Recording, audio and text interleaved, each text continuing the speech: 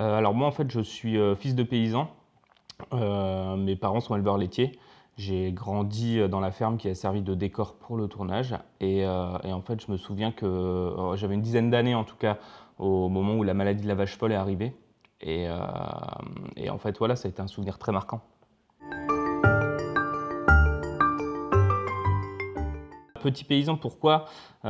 Bah, c'est finalement en discutant avec plusieurs, euh, avec plusieurs euh, copains qui sont eux agriculteurs euh, où je me suis dit qu'on avait fait le bon choix. Non, tout simplement, c'était un jour, il y a un, peu un gros paysan qui m'a dit Mais pourquoi tu appelles ton film Petit Paysan? Et, je fais Mais quel est le problème? Et lui m'a dit bah, Parce qu'un petit paysan, pour moi, c'est péjoratif. Et là, je me suis dit, OK, il y a un problème de représentation, en fait.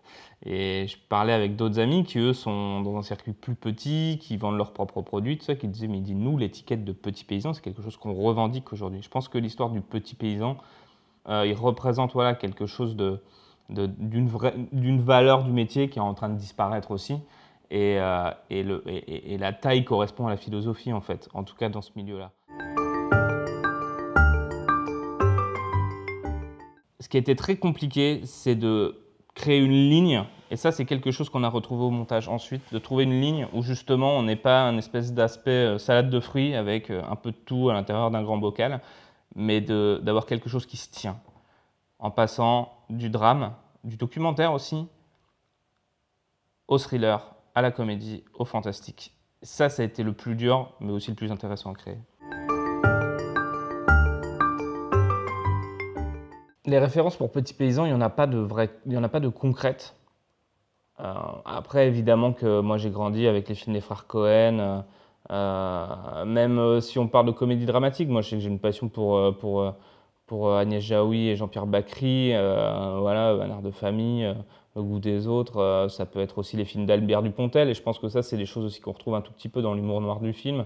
Moi, j'ai grandi avec Bernie, par exemple, ou les films de Bully Lanners aussi, c'est quelque chose qui m'inspire beaucoup, les films de Benoît Mariage. Euh, voilà, il y a un petit peu de tout ça, je crois, dedans.